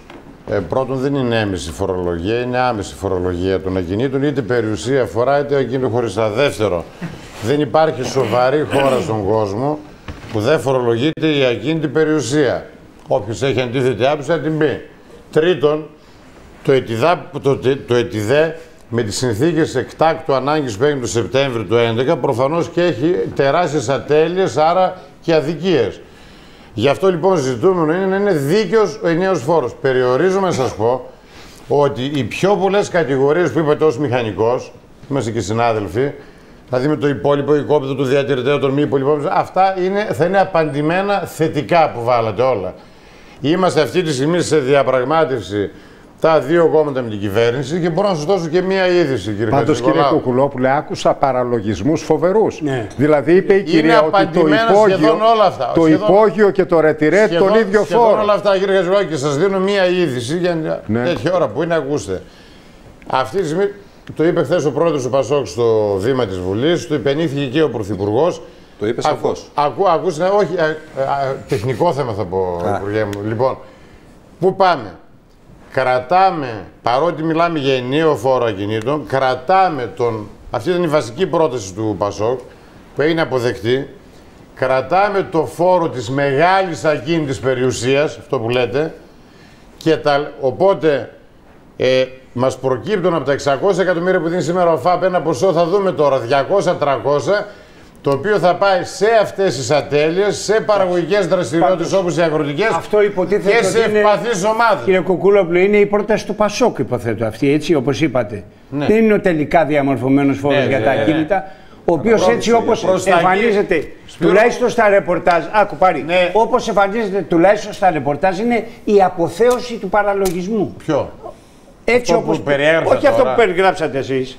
Αυτό, Αυτό που βγήκε- εμφανίζεται τώρα, Καλά, βέβαια. μα η Ας δούμε τι κοινοβουλευτική- θα επικρατήσει Μα η καταρχήν. κοινοβουλευτική ομάδα του Πασόκ είπε, διάβαζε σήμερα σε όλα τα αυτά για τον βουλευτή μου, τον συνάδελφό μου στα Γιάννεμα. Η κοινοβουλευτική ομάδα του Πασόκ είπε αυτό το νόμο όπως κατέβηκε δεν τον ψηφίζει. Κύριε Μιχελάκη, είναι τι λέτε; ομόφωνη Τον απόφαση. το περιέγραψε πέραν. ο κύριος προηγουμένως απολύτως. Μα απολύτως. Συγγνώμη. Μα Σπύρο μου είπαμε αυτό, αυτό δεν το ψηφίζει. Ωραία, δεν δεν είναι. Μα γι' αυτό το λέω για να το ακούσουμε. Γι' αυτό το λέω για να το ακούσουμε. Εγώ πριν από 50 χρόνια που μπήκα στι εφημερίδες ήξερα ότι οι κομμουνιστές θα μας έπαιρναν τα σπίτια γενικώ. Δεν, δεν παίρνει κανένας στο Εγώ σπίτι, το μόνο 65 μέσα, μου ρε. λέγανε ότι έφυποι Και στα κύριε άλογα Χατζηνικολάου, κομμουνιστές τελευταία κουβέντα. σε λευκά άλογα Τελευταία κατεβαίνουν κουβέντα. να πάρουν τα Η σπίτια. τελευταία- την Τελικά τελευταία αλλάξαν οι κουβέντα. καιροί ρε Τη παιδί. γίδα θα σου Όποιος παίρνουν είναι- από την Κοιτάς έκανε. εσύ. Τη γίδα. Όποιος είναι, Τι προδε... με κοιτάς. Είσαι Όποιος και είναι ανεξάρτητος. πραγματικά προοδευτικός Λοιπόν. άνθρωπος, όχι στε- με τη στενή πολιτική έννοια του όρου, δεν μπορεί αυτό που είπε προχθές την προηγούμενη Δευτέρα στη συνέντευξή του Πρωθυπουργός είναι να σου πω μνημονιακή υποχρέωση εδώ και πάρα πολύ καιρό. Όχι υποχρέωση, κατεύθυνση, συγγνώμη, για να, δεν, είναι, δεν είναι στο MOU, είναι στις εκθέσεις. Και έρθει σε αντίκρουση λιγάκι περιουσία και μεμονωμένο ακίνητο. Έχετε εσείς ή εγώ ένα ακίνητο εδώ και ένα στην Κοζάνη ή στην Πάτρα. Πού πάει ο φόρος, Ο φόρος στα ακίνητα σε όλο τον κόσμο πάει κατευθείαν στην αυτοδιοίκηση. Όταν έχετε ένα φόρο Πάτρα και ένα Αθήνα, πού θα πάει ο φόρος; Προσέξτε να δείτε, είναι τόσο είναι λίγο σύνδετο το πάζλ το ερώτημα, καταλάβατε; Γι' αυτό και λέμε, ίσως η χρυσή τομή, γιατί και στην Ελλάδα πρέπει να πάει στην αυτοδιοίκηση.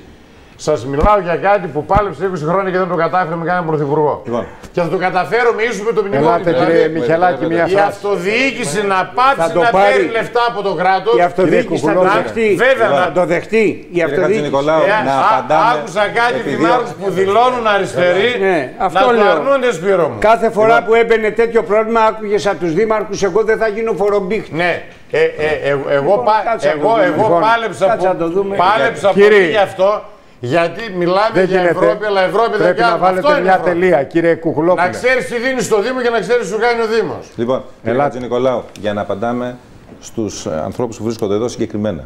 Η παρέμβαση που κάναν οι βουλευτές της Νέας Δημοκρατίας αφορά το οικόπεδο. Αυτό που είπατε. Ένα σημείο αυτό. Δεύτερο, μία από τις προτάσεις που έχουν κάνει είναι να υπάρχουν πολλοί συντελεστές. 20. Ακόμα και με ορόφους για να είναι δίκαιο. Τρία. Φτάνω σε αυτό που είπε 33 ο κύριο. Ναι, Είναι πρακτικά 33. Ακόμα, ακόμα καλύτερα γιατί υπάρχει μεγάλη εξειδίκευση. Πάμε σε αυτό. Αν θέλουμε να κάνουμε και ως αν θέλετε αρμόδιος υπουργός στο θέμα αυτό, θα πρέπει ο φόρος στα ακίνητα να φύγει από το κράτος και να πάει στην τοπική αυτοδιοίκηση. Αυτό λοιπόν το πράγμα είναι ένα γεγονός που πρέπει να γίνεται. Ε, σε όλο τον κόσμο. Να βρίζουν άλλους, να Σε μην όλο τον βρίζουν. κόσμο. Ε, σε κύριε, μεμονιακούς Κουίκ, έτσι είναι. κύριε Κουίκ, ακούστε. Δεν Μετάθεση περίμενα. ευθυνών. Δεν, Σύστημα Παπανδρέου Καλά, και αυτό της κύριε δεκαετίας Κουίκ, του 80. δεν περίμενα, Ο κοιτάξτε. κέντρος δεν- ευθύνης κοιτάξτε. σημαίνει Καλά, σε όλο ναι, τον ναι, Από τον κόσμο. κύριο Ελλάδα, Κουίκ άλλο και από θες το να κόμμα ξέρεις. του δεν, έχω περι- δεν περιμένω κάτι να υπάρχει μια συγκεκριμένη πρόταση. Ούτως ή άλλως, αυτό που περιμένει ο πολίτης είναι αυτό που πρέπει να κάνει. Σε καμία πολιτισμένη χώρα, μάλλον στις περισσότερο αναπτυγμένε για να μην είναι τόσο απόλυτος, οι φόροι πάνε στα, στους Δήμους. Και μάλιστα, Όχι όλοι. και μάλιστα, για τα κίνητα κυρίως, Των- και των μάλιστα ακινήτων στις πιο πολλές. ανάλογα την περιοχή Ε, που τώρα 40 βρίσκεται, χρόνια φούρναρες, αυτά τα έχεις ξέρω καλύτερα από διαφορετική ε, φορολόγηση. Η αυτοδιοίκηση Εκεί θα θα κρίνεται κάνει από και το τους Δήμο, πληστηριασμούς, θα βέβαια, ε. κρίνεται από το Δήμο τι επίπεδο θα έχει και πόσο. Μάλιστα. Μία κουβέντα, κύριε Παπά, για να το Ε, για κλείσουμε. να είναι στοιχειοδός δίκαιο το σύστημα πρέπει να έχει ένα φορολόγητο και είναι εντελώς λάθος να είναι ανακοίνητο. Αλλά ας δούμε πρώτα τι θα επικρατήσει, Επιτρέπ- κύριε Παπά. Επιτρέψτε μου. Ναι, ε, είναι εντελώς λάθος να είναι ανακοίνητο διότι χάνει οποιαδήποτε προοδευτικότητα. Πρέπει να συγκροτηθεί περιουσιολόγιο, είναι έγκλημα το γεγονός ότι έχει σταματήσει. Σε αυτό είναι, πολύ συμφωνούμε εύκολο, απολύτως. είναι πολύ Σε εύκολο αυτό να συμφωνούμε συγκροτηθεί απολύτως. με μια συμπληρωματική φορολογική δήλωση. Η παράνοια που ζούμε αυτή τη στιγμή σημαίνει ότι αν έχεις ένα σπίτι στην νίκαια θα πληρώσεις φόρο, αν έχεις πλάκες χρυσούς σε μια τυρίδα δεν θα πληρώσεις Πάντως, κύριε Παπά, να σας πω κάτι, συγγνώμη κύριε Παπά. Σήμερα είναι μια δύσκολη μέρα και για τους αστέγους που δεν έχουν καθόλου σπίτι, πρέπει να σας πω. Είναι πολύ εύστοχη η παρατήρηση, ειδικά σήμερα με αυτές τις καιρικές συνθήκες. Ελάτε, το όνομά σας και την ερώτησή Χαίρετε. σας. Είμαι η Δούρου Ελένης, σπουδάζω στο ΤΕΙ Πειραιά Λογιστική. Και άμα δεν σου δίνα το μικρόφωνο θα έτρωγα ξύλο. ναι. Με κυνηγάει αυτή τη εδώ και σχολή. μισή ώρα να πάρει το μικρόφωνο. Για να δω τι το ήθελε στο μικρόφωνο. Σε αυτή τη σχολή λοιπόν μου μάθανε ότι όταν Ναι. θέλουμε ανάπτυξη, η λύση δεν είναι οι φόροι, αλλά οι επενδύσεις. Αλλά για να έχουμε επενδύσεις πρέπει να έχουμε και ένα σταθερό οικονομικό και πολιτικό περιβάλλον. Και θέλω να ρωτήσω τον κύριο Παπά. Με τη συμπεριφορά σας που έχετε καταψηφίσει όλους τους νόμους, αλλά και την πρόταση μομφής που κάνατε, θεωρείτε ότι εσείς συμβάλλετε στο να η κοινωνία να αποκτήσει ένα σταθερό περιβάλλον έτσι ώστε να προσελκύσει και επιχειρήσεις να κάνουν επενδύσεις; Ε, επιτρέπετε να ρωτήσω εγώ, κύριε Χατζηγκολό.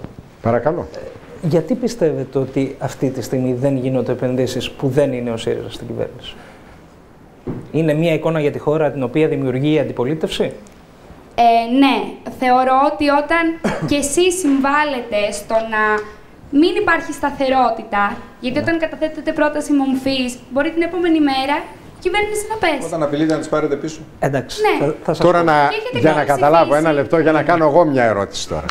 Πόσων ετών είστε; 22. και είστε φοιτήτρια πού; Λογιστική. και το κύριο θέμα σας είναι οι επενδύσεις; Μα για να έχω δουλειά πρέπει να Και, υπάρχουν και, επενδύσεις. και για τις επενδύσεις γίνει ανάπτυξη. και για τις επενδύσεις από αυτό το πάνελ, αυτός που σας μοιάζει πιο αρμόδιος, είναι ο εκπρόσωπος της τοποθετηθώ όμως. αντιπολίτευσης; Θέλω να πω και κάτι άλλο. Ναι, ναι, ναι. Θέλω να πω και κάτι όχι, άλλο. γιατί σας το τεκμηριώνω.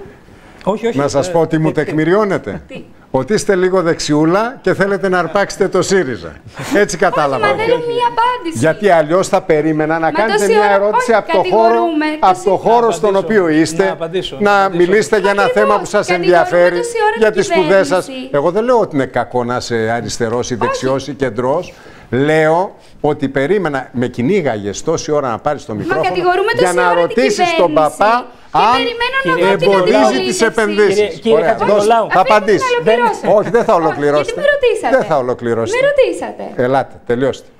Κατηγορούμε τόση ώρα την κυβέρνηση. Η αντιπολίτευση όμως τι, δεν- τι μπορεί να κάνει γι' αυτό; Εκτός Εντάξει. από το να κατηγορεί. Αυτό Εντάξει. ρωτάω. Ναι. Αυτή τη στενοχώρια δεν την είχε ούτε ο Μιχελάκης. Ελάτε. Η, η, αντιπολίτευση, η αντιπολίτευση μπορεί να κερδίσει τις εκλογές και να διαμορφώσει και ένα σταθερό φορολογικό όχι, όχι, σύστημα. να δώσετε σοβαρή απάντηση. Σοβαρότατη Αφήστε δίνω. τώρα τι θα κάνετε μετά. Όχι, όχι. Μα και από το, τώρα. να λέτε, το να λέτε θα στήσω δικαστήρια. Θα πάρω πίσω τις ε, ε, επενδύσεις που θα γίνουν. Ε, θα κάνω ε, και 30 εξεταστικές. Να διαμορφώνετε κλίμα ότι όποιος φέρει ένα ευρώ στη χώρα θα τον καταδιώξετε. Έχει δίκιο η νεαρά φίλη μου. Απλώς την περίμενα ότι με κυνηγούσε για κανένα ερώτημα πιο... που ενδιέφερε τη ζωή της. Έχει δίκιο να λέει ότι διαμορφώνεται αρνητικό κλίμα για να έρθουν επενδύσεις. Λοιπόν, εμείς θέλουμε επενδύσεις οι οποίες να είναι παραγωγικές. Είπε ευχαριστώ γιατί την κάλυψα τώρα. Θέλουμε επενδύσεις οι οποίες να είναι παραγωγικές, να διαμορφώνουν απασχόληση, να σέβονται το περιβάλλον και ένα εργασιακό περιβάλλον που θα Μπορείτε να θέλαμε μας πείτε μια διαμορφώσουμε. τέτοια επένδυση που υποστηρίξατε αυτό τον τελευταίο 1,5 χρόνο. Τι εννοείτε, δε, Ε, εδώ- ε, αυτό εννοώ Μα, που λέω. Όχι, να μου, Μία. πείτε, να μου πείτε εσείς πού έγινε επένδυση όμως. Να μου πείτε πού έγινε επένδυση. Επένδυση που σημαίνει... Την Κόσκο ας πούμε. Εντάξει, εκεί πέρα έχουμε κάνει μια κριτική η οποία αφορά πάρετε τις... πίσω. Θα βάλω μια- επανεξετάσουμε τη Άρα σύμβαση. Αυτό μπορεί σας και να λέω. τους διώξετε. Να βάλω Εντάξει. Άρα μπορεί και να τους διώξετε. Εντάξει, Να βάλω θα ένα επανεξετάσουμε Μιχελάκη, τη σύμβαση. λέτε να Μισό τα λεπτό. φέρουν οι μισό λεπτό. Κινέζοι.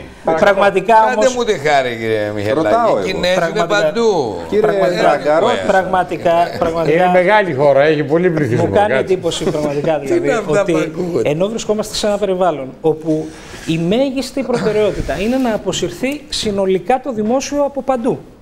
Πάντως Αυτή ξέρετε είναι- κάτι, συγγνώμη κύριε Παπά. Εγώ θα Ε, ήθελα να- να. όχι, όχι, Όχι, έχω γιατί ρε προηγηθεί, παιδιά. Γιατί έχω προηγηθεί. Έλα, ρε Έχω τέρε, στήσει το σας λόγο. Όχι, όχι, θα μιλήσει και ο κύριος Σαρβανίτης. Ο Αλλά- κύριος Κουίκ και μετά ο Όχι, Βασίλης. στη- πω στην γιατί. κυρία που ένα Θα μου είναι σας πω πολύ γιατί. συμπαθής. Εγώ Αυτό θα ήθελα μιλήσω να στην πω. κυρία.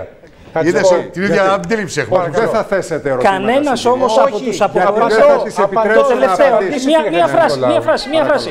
Καμία από τις επιχειρήσεις αφήσει ο η οποία Χατζηνικολάου. έφυγε, μα καμία που μεταφέρθηκαν μία σειρά από επιχειρήσει το τελευταίο διάστημα, δεν κατηγόρησαν την αντιπολίτευση. Κύριε Χατζηνικολάου. Είναι το συνολικό οικονομικό Σε αυτό περιβάλλον. έχετε απόλυτο δίκιο. Είναι το Συγγνώμη, συνολικό δεν έφυγαν οι οικονομικό επιχειρήσεις. περιβάλλον. το Έφυγαν τα οποίο στρατηγία για να έχουν στρατηγία. φθηνότερο δανεισμό. Yes. Yes. Δεν, φύ- δεν έφυγε η παραγωγική μονάδα τη 3Ε. Δεν έφυγε η παραγωγική. Ε, Έτσι. Κύριε Χατζηνικολάου. Ελάτε κύριε Είναι- Κουίκ, είναι παρακαλώ. δίκαιο, δίκαιο, έχει Έχω πρόβλημα, δώσει δεν είναι το πρόβλημα. λόγο στον κύριο Δεν Κουίκ. λέω ότι δεν είναι Κύριε πρόβλημα. Κουκουλόπουλε. δεν κατάλαβα. Δεν λέω ότι δεν είναι πρόβλημα. Δεν το Ναι, κύριε κατάλαβα, Κουίκ. δεν το κατάλαβα. Βλέπετε ότι οι απολογούμενοι Δεν που το μιλάνε κατάλαβα, πάντα, είπατε, πάντα συγγνώμη. περισσότερο σε αυτή την εκπομπή. Είπα, είπα, δεν- Αυτό που θέλω να πω είναι ότι ναι, οι επενδύσεις είναι αυτές οι οποίες πρέπει να γυρίσουν πίσω στη χώρα. Και βάζω τη λέξη να γυρίσουν, διότι για παράδειγμα έχουμε 5.500 ελληνικές επιχειρήσεις που πήγαν να βρουν καταφύγια στη Ρουμανία και δεν είναι εδώ. και δεν είναι εδώ γιατί τα μνημόνια δεν επιτρέπουν τη μείωση της φορολογικής κλίμακας. Να έρθουν Αφού να έχει 10% δουλέψουν, φορολογία να η έρθουν να Βουλγαρία. δουλέψουν Ε, κύριε σε Χατζηνικολάου, ένα Μας ανταγωνιστικό ακούνε και άνθρωποι. Η Βουλγαρία φορολογικό το Πετρίτσι περιβάλλον. εδώ, Περίμενε. το Πετρίτσι στα σύνορα, Μισό λεπτό. έχει 10.000 ελληνικές Ε, εταιρείες. αυτό. Λοιπόν, είναι σημαντικό κύριε Χατζη Νικολάου ότι αν δεν κάνουμε ελκυστικό το φορολογικό περιβάλλον, έτσι όπως το λέμε και εμείς ανεξάρτητοι Έλληνες, δεν θα έχουμε καμία επένδυση. Θα φύγουν και άλλες. Πρέπει να η γυρίσουν Βουλγαρία, πίσω. σας λέει ο κύριος Το Τράκας, αυτό έχει είναι. 10%. το Μα δεν είναι. Βλέπετε οργασμό επενδύσεων Μα στην δεν, Εγώ όχι, θα σας πω κάτι, βεβαίως. κύριε Χατζηνικολάου. Σας λέω εγώ. Τώρα που μιλάμε- 5,5 Γιάννη μου, 5.500 ελληνικές επιχειρήσεις είναι στη Ρουμανία. Δεν είναι κακό να φεύγουν και να Αγνοώ, επενδύουν έξω. αγνοώ πραγματικά πόσες είναι πού, στην Τουρκία. Και άλλες πόσες είναι στην, ε, στην Αλβανία. Αυτό είναι τεράστιο ζήτημα. Κύριε Κουίκ, μου επιτρέπετε. Πάντως, κύριε Χατζη Νικολάου, για να λέμε πράγματα με το όνομά τους, ζητάω και συγγνώμη από τον κύριο Αρβανίτη.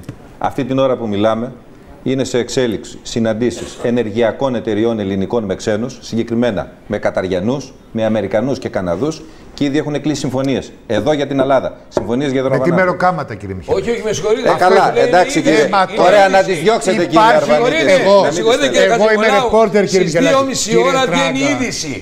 Έρχονται οι Καταριανοί επιτέλους Είπα. Ελλάδα. Πάμε για Τουμπάι. Θα δούμε Τουμπάι εδώ. Σας ενοχλεί. Είναι καθόλου. Α, εντάξει. Ίσα Άρα ίσα. συμφωνούμε. Άρα. Εγώ θα φορέσω και κελεμπία, πάω στο αεροδρόμιο να του υποδεχτώ. Και Αλλά το ρολόι. θέμα είναι. Έρχονται Καταριανοί. Κύριε, κύριε, κύριε Έρχονται. Χατζηνικολάου, να Μπαίνουμε σε πούμε δύο ονομαστολογία λέξεις. που δεν Δύο είναι. λέξεις. Ο κύριος Αρβανίτης προηγείται. Επειδή Ε, η κυρία είναι σαν την κόρη μου, 22 χρονών. Είναι και πιο μικρή μάλλον. Θέλω να πω ότι το βασικό ερώτημα είναι να έχετε μεροκάματο. Να έχετε συλλογική. Μα με συγχωρείτε, ακούστε με λίγο. Σαν μπαμπάς. Να έχετε συλλογική σύμβαση εργασίας. Να έχετε ένα σταθερό μισθό. Να έχετε δικαιώματα. Αυτό δεν είναι αριστερά που λέω. Αυτό είναι βασική αρχή της αστικής δημοκρατίας δυτικού τύπου. Όπως τουλάχιστον τη μάθαμε. Σήμερα λοιπόν, το να λέει ο κύριος Κουίκ ότι θα έρθουν οι επενδύσεις και ο κύριος Μιχελάκης θα έρθουν οι επενδύσεις, εμένα προσωπικά ποσός με ενδιαφέρει, διότι αυτό με ενδιαφέρει να έχω φαΐ στο σπίτι μου, την κόρη μου να, που έχει ένα πτυχίο στην καλών τεχνών να μπορεί να κάνει τη δουλειά ναι, της. αλλά είναι και Αυτό λίγο είναι- αλληλένδετο. Αυτό είναι άκρατος λαϊκισμός, κύριε Αρβανίτη. Λαϊκισμό είναι να έχουμε Ότι- δικαιώματα. Δεν θέλουμε, δεν μιλάω για αυτό κύριε Αρβανίτη, μιλάω για τις επενδύσεις. Είναι δυνατόν να λέτε δεν με ενδιαφέρουν οι επενδύσεις. Με χαλάει, Δεν σε ενδιαφέρουν. με χαλάει, Όχι, σε δεν χαλάει. Μιλάτε 10 μαζί. Θέλω να σας πω ότι εγώ δεν θα επένδυα σε αυτό το πάνελ με τους Πάντως κύριε Μιλάτε Χατζη 10 Νικολάου, μαζί. με συγχωρείτε. Για να Παρακαλώ. έχουμε Πα- μισό φαγητό λεπτό. στο σπίτι μας, όπως λέτε, κάπου πρέπει να δουλεύουμε. Να δουλεύουμε. Πώς θα δουλεύουμε, Και οι σκλάβοι αν όμως δεν δούλευαν. Το Ελάτε, θέμα δεν είναι να κύριε δουλεύουμε, το Αρβανίτη, θέμα είναι να ελάτε, κύριε αμοιβόμαστε κιόλας. Με συγχωρείτε πάρα πολύ. Στο δικό μας επάγγελμα, ο κ. Χατζη Νικολάου ξέρει πάρα πολύ καλά, οι οπερατέρ που είναι εδώ, οι συνθήκες που επικρατούν σήμερα στην αγορά εργασίας για μας είναι άθλιες. Είναι Είναι 400 προτιμότερο ευρώ που έχουν φύγει όλες οι ανασφάλιστη, επιχειρήσεις. ούτε με μπλοκ παροχής υπηρεσιών, ούτε να έχουν ασφαλιστική κάλυψη. Και ο συνάδελφος Μιχελάκης πρέπει να το ξέρει αυτό. Δεν είναι Και έτσι για- σε όλη την αγορά. Είναι στο Υπάρχουν μεγα- εταιρείες στις οποίες δεν ναι, ισχύουν. στο αυτά. κόκκινο. Στο real θα μου πείτε. Βεβαίως. Εγώ ξέρω που είμαι. Και ξέρω και που είμαι. Υπάρχουν όμως, Νίκο, εταιρείες σήμερα και συνάδελφοί μας οι Υπάρχουν, οποίοι βεβαίως ζουν υπάρχουν. πάρα πολύ δύσκολα. Δεν θα διεκδικήσω και είναι λαϊκισμός που λέει ο συνάδελφος Όχι Μιχελάκη. λαϊκισμός, λαϊκισμός κύριε Αρβανίτη είναι να λέτε δεν θέλουμε επενδύσεις. Είπα εγώ δεν θέλουμε επενδύσεις. Λαϊκισμός Με όρια. είναι να λέτε Με στον αρχές. κόσμο Με ότι α- ξέρεις με θα έρθει με αρχές. ένα μαγικό Με τρόπο αρχές. η Ή με λύση το του κεφάλαιο, προβλήματος. Ή με του εργαζομένους, Έτσι. κύριε Μιχελάκη. Αφήστε τα Έμα αυτά. τώρα. Καλά. Έμα τώρα. Ε, δεν πειράζει. Ένα τελευταίο ερώτημα, παρακαλώ. Εντάξει. Το όνομά σας; Καλησπέρα, ονομάζομαι Αλαφούζ Παναγιώτης. Είμαι 24 χρονών προγραμματιστής. Θα ήθελα να ρωτήσω ότι βασικά έχω διαβάσει το 2009 η Ελλάδα έχει δημόσιο χρέος στα 51 δισεκατομμύρια ευρώ. Πότε; Το δι- 2009. δεν ήταν. Όχι. Δεν Το ήταν. 2009. 380. Ναι, και- Όχι. Τόσο. 8. Πέντε site, πέντε site Κοντά διαφορετικά 400 έχω διαβάσει ήταν. ότι είχε 400 59 παρακάτω. δισεκατομμύρια δημόσιο χρέος. Όχι, δεν είναι 400 σωστό. παρακάτω. Δεν είναι λάθος. Κοντά στα 400 ήταν. Πόσα; Κοντά στα 400. 80 Ωραία, κάτι, Χρέο κοντά και στα το, 400. και το έλλειμμα, το έλλειμμα της 38 και το πρωτογενές 25. Παρακάτω. Θα μπερδευτείς αν πας παρακάτω, είναι πολύ μεγάλο. Είναι βουνό, είναι Ανέχεστε να πολύ παίρνετε- μεγάλο. ανέχεστε να είναι- παίρνετε δάνεια από τη ναι. Γερμανία. Η Γερμανία παίρνει τα δάνεια με 1% και εμείς τα παίρνουμε, με- μας τα δίνουμε τέσσερα. Ένα. Που σημαίνει ότι από εμά. Τώρα πια με ένα. Όχι τώρα πια. Ένα. όχι τώρα πια. Ένα τα εκατό. Πριν ένα χρόνο πώς τα δίνανε; Πριν δύο χρόνια πώ μας τα Α, δίνανε. τώρα. Τους χαρίζουμε λεφτά δηλαδή. Τε- Τα παίρνουμε τε- ένα, τε- δίνουμε τε- τρία εμείς τε- δύο. Τέτοια ώρα, φίλοι μου, τέ- τέτοια Να πω όμως λόγια. κάτι που είπε. Εδώ Πείτε τώρα, μου. να Θα σου σας απαντήσω αντιστρέψω κάτι. να σου Είναι, το ναι. αντιστρέψω λίγο, με συγχωρείς, για να σου- να- να- να να τελε- σου το αντιστρέψω λίγο. τελειώσω λίγο τα ερωτήματά μου, είναι τα Όχι, να κουτάλα μην το μαζί. αντιστρέψετε, να το απαντήσετε. Να τελειώσουμε Το να- ερώτημα να είναι πολύ αντιστρέψω καλό. την τρέχουσα Λέει λογική ότι και επί λίγο κάποια λαό. χρόνια Δεν θα παίρναμε με πολύ Τα υψηλά ερωτήματά μου. επιτόκια δάνεια. Τα ερωτήματά μου. Λέει η Μπορώ να αλήθεια. απαντήσω λοιπόν. Μισό λεπτό να τελειώσω λίγο και να μου απαντήσετε. Το Πασόκ το 2009 ο κ. Παπαντρέου έλεγε λεφτά υπάρχουν και παραπλάνησε στον κόσμο ότι υπάρχουν λεφτά. Ποια λεφτά, ρε παιδιά; Εδώ πεινάμε. Εδώ υποφέρουμε. Εγώ είμαι 22 χρόνια και προγραμματιστής. Πώς θα έρθει η ανάπτυξη αυτή τη χώρα; Όταν έρχεται ο άλλος ο ξένος και τα παίρνει με ένα κομμάτι ψωμί, θα έρθει ανάπτυξη. Όταν έχει βάλει ξένους μέσα η χώρα παραπάνω από όσο αντέχει, και ο ξένος εμένα μου παίρνει την εργασία. Έχουμε παραπάνω ξένους από, πο- από όσο αντέχει η χώρα. Η χώρα δεν αντέχει τόσους ξένους που έχουμε. Πόσους έχουμε; Συ- Πάνω κάτω που έχω διαβάσει, ας πούμε, γύρω Στα στα, site. γύρω στα 2 εκατομμύρια 100.000 ξένους. Βα, τρία θα λέω. Δεν είναι πολλοί προγραμματιστές Μα τι πάντω. λέτε τώρα; Με τους Όχι, συγγενείς δεν που λέω θέλετε να τους φέρετε, ξένους. θα Λέω ήθελα για να την τέσσερα. ειδικότητά σας. Συγγνώμη. Λέω για την έτσι. ειδικότητά Ναι, σας. δεν θα δουλέψει ο Είναι προγραμματιστής. δράμα, είναι, είναι Δεν έχω- δράμα το γεγονός Ναι. ότι οι νέοι άνθρωποι αυτή τη στιγμή υψηλής εκπαίδευσης αναγκάζονται και φεύγουν Να από τη σου πω χώρα. κάτι. Και αυτό για να Μάλιστα. απευθυνθώ και στην ε, κυρία. Με συγχωρείτε, μου Ναι, διαφεύγει. ναι, το όνομά πάτε σας. να του την πέσετε όλοι, αλλά δεν Έλα. λέτε ότι φεύγουν οι νέοι Συγγνώμη στο να κάνω εξωτερικό. Φεύγουν και λέω Όχι, αυτό. Δεν λέτε ότι Στους το 25% δείκτες- της στους χώρας δείκτες είναι του πάνω πα- από 63 ετών. Δεν Στους λέτε δείκτες- ότι πάνω από την ηλικία δω. τη δική μου είναι το 25% του πληθυσμού, ενός γυρασμένου πληθυσμού της τελειώσω. χώρας Δεν και είμαι μιλάτε κατά. για ανάπτυξη Δεν είμαι κατά. σε Οι μια ανθρώποι χώρα ζουν που στην την Ελλάδα. μιξάρετε Οι με ανθρώποι 2 ζουν στην Ελλάδα. εκατομμύρια Αυτό λέω. μετανάστες Μισό λεπτό. χωρίς νέους, Οι ανθρώποι τους ζουν οποίους στην φέρνουν στο Ελλάδα εξωτερικό. για ένα Αυτό καλύτερο λέτε. Μέλλον. 25% Έτσι, ο του κύριος Σαμαράς πληθυσμού, πριν, ε, 10 η χρόνια, τελευταία, 15 χρόνια η κοντά, τελευταία απογραφή άνοιξε τα σύνορα κύριε και Φράγκο. πήγαν όλη όλοι την μέσα. ηλικία μου. Πριν 25 χρόνια κοντά, άνοιξε τα σύνορα και πήγαν όλοι μέσα. Τον δείχναμε εμείς οι ίδιοι Έλληνες και τώρα τον έχουμε και πρωθυπουργό κιόλας. Και Έλληνε που έχει και, και άποψη κιόλας, έτσι, για μένα προσωπικά. Για μένα προσωπικά αυτός που θα σώσει τη χώρα είναι αυτός που θα τη βγάλει από το ευρώ και θα, θα, θα, θα πει: εμεί, Εγώ δεν ξεπουλάω τα νησιά της χώρας μου και τη χώρα. Δεν κάνω συμφωνία με κανένα Τούρκο, με καμία Γερμανία και με κανέναν. Ναι. Πάω τη χώρα μου από την αρχή. Και υπάρχει και άλλη μια λύση. Θέλετε, να- θέλετε να τελειώσουμε, να πάμε όπως ήμασταν κάποτε και ίσω καλύτερα; Τα πετρέλαια. Τόσο πλούτο έχουμε. Είμαστε τέταρτη, είμαστε πάνω, πάνω από το Ισραήλ. Πάνω από το Ισραήλ σε πλούτο. Ο μέσος Έλληνας έπρεπε να έχει. ε, Έπρεπε να έχει Και η ερώτηση αν μπορεί Έπρεπε να έχει, άου, να έχει καινούργιο αυτοκίνητο ο μέσος Έλληνας. Έχουμε τόσο πετρέλαιο. Δεν το ξέρουμε ακόμα. Άστο, Όσον μην το αφορά- χαλάσεις. Δεν το ξέρουμε Μην ακόμα. το χαλάσεις. Έχουν γίνει Μην το έρευνες πάρα κάνει- πολλές. Ναι, αλλά μην το Έχουν γίνει κάνεις πολλέ ακόμα. έρευνες Δεν για το το πετρέλαιο. ξέρουμε αυτό, εντάξει. Για το, για, έχουμε πάρα πολλά πράγματα. Οι Μία Αμερικανοί το απάντηση για να ξέρουν. κλείσουμε. Να- Να τελειώσω. Έχετε, έχετε, η ανάπτυξη θα έρθει αν, αν φύγουν κάποιοι ξένοι από τη χώρα και να ρυθμιστεί το θέμα με τους λαθρομετανάστες. Γιατί Μάλιστα. ήμουνα στον Εύρο Εντάξει, βάλτε και μια μου τελεία λέγανε όμως, παίρνα τους μέσα. Ήμουνα στον Εύρο, Κάτσε. Ποιος; εγώ. Όχι, ποιος ποιος έλεγε Είχα, πέρα τους είχα, μέσα; είχα εντολή να τους περνάω μέσα. Από ποιον; ποιον; Από τον ανώτερό μου. Ποιον; Απλά δεν. Ποιον; Τι ποιον; Ποιον; Ο, ο, ο Ανώτερος. στρατιώτης Ποιον; ήμουνα. Τι να ρωτήσω. Ποιον; Τον ανώτερό. Κάτσε, Τον σου Εμιλιάνο. λέγανε Καταγγελία Λέγανε κάνει ο Δύο άνθρωπος. λεπτά Πρέπει να είχα κάνει μια τώρα. Και καταγγελία. είναι αυτά που Να λέτε. Αυτά που απαντήσω, λέω- συγγνώμη. Αυτά που Όχι, λέω. όχι, Έχω αλήθεια βίντεο. λέω. Έχω βίντεο. Δεν με Έχω κατα- αποδείξει αυτά που λέω. Βαριγάρου μου, Λοιπόν, απόλυτα ένα έτσι λεπτό. είναι. Να απαντήσουμε όμως για να μην Εδώ- κάνουμε εδώ τώρα. είναι αυτά Η που Ελλάδα. λένε. Τι Η αυτά που Ελλάδα δεν λένε; ανήκει πια στους Έλληνες. Πρώτον, ανήκει στους Έτσι. ξένους. Δεν ανήκει συγκεκριμένα στη Γερμανία. Ανήκει στους ξένους. Όπου Ο θέλουμε. ξένος θα έρθει να επενδύσει στην Ελλάδα επειδή εμένα θα μου δώσει 400 απαντήσουμε ευρώ και συγκεκριμένα. θα μου πει και πήγαινε Μέχρι πέρα. ένα σημείο ήταν καλό. Έχετε κατεβάσει Λοιπόν, τους πρέπει μισθού, να έχετε απαντήσουμε κατεβάσει όμως για τους να κλείσουμε. μισθού Ελάτε. Λοιπόν. στα όρια της φτώχειας και ανεβάζετε τους φόρους και μας λέτε, πηδή... κανονικά μας το λέτε σε μετάφραση να πάτε να πηδήξετε. Αυτό λέτε. Αυτό Λοιπόν. λέτε πραγματικά. Και για μένα κανένας. Αλλιώς το λένε, αλλά τέλος πάντων. Με κανέναν. Να θα είμαι με αυτόν που θα εκμεταλλευτεί τον πλούτο αυτής της χώρας ή θα δηλώσει τη χώρα αυτή σε χρεοκοπία. Μάλιστα. Να είστε Λοιπόν, καλά. Είναι οι απόψεις σου, είναι σεβαστές, μπορεί να μην είναι αποδεκτέ. Σε κάποια σημεία συγκεκριμένα να απαντήσω. Πρώτον, μίλησες για δανεισμό 5%. Ναι, δανειζόμασταν 5%, τον τελευταίο χρόνο δανειζόμαστε 1%. 1%. 2. 2. 2. Αυτή η κυβέρνηση τον τελευταίο χρόνο. 2. Το θέμα των υδρογονανθράκων. Τώρα δημοπρατούνται και είχε ξεκινήσει από την προηγούμενη περίοδο, ξεκινώντας από τις, ε, από τις ε, περιοχές της Δυτικής Ελλάδος. ΑΟΣ, Ήδη τρία. γίνονται... Πες μου για την ΑΟΣ, Κύριε Κουίκ, τρία. αφήστε να ολοκληρώσω και μετά μιλήστε και Όχι, πέστε για ό,τι την ΑΟΣ. θέλετε. Πάμε παρακάτω. Κρήτη, Για τη από Στρογγύλη. κάτω ήδη καταγράφονται και θα ξεκινήσουν και εκεί οι δημοπρατήσεις. Μια και αναφερθήκατε στους υδρογονάνθρακες. Τρία, θέμα Εύρου. Μπήκε ο φράκτης και αυτό το τελευταίο διάστημα και έκλεισε και από εκεί πια είναι μηδενική η είσοδος των λαθρομεταναστών. Και εκεί που τώρα προσπαθούμε και κρατάμε και μειώνουμε τα ποσοστά είναι στη θάλασσα όπου υπάρχει συγκεκριμένο πρόβλημα.